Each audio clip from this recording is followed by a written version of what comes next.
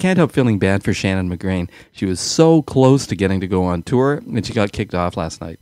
Sure, some of her vocals weren't perfect, but she's a great singer with tons of potential.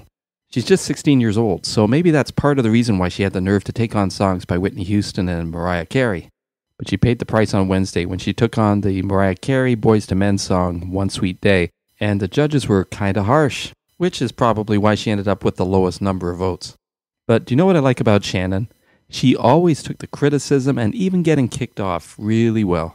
She's just a lovely girl, and I think no matter what she does in life, she's going to do great. Something else that's really great is a new peace movement called Peaceworks. They believe that every church can be a peace church. So get your group together and click on the link under this video for more info. There is an indefinable, mysterious power that pervades everything. I have a dream today.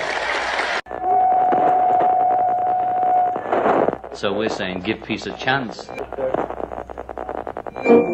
God is in the cries heard under the rubble of war.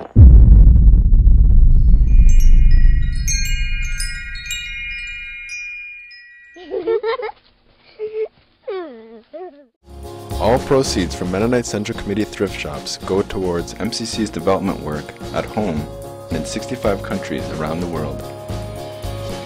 Shop, donate, volunteer.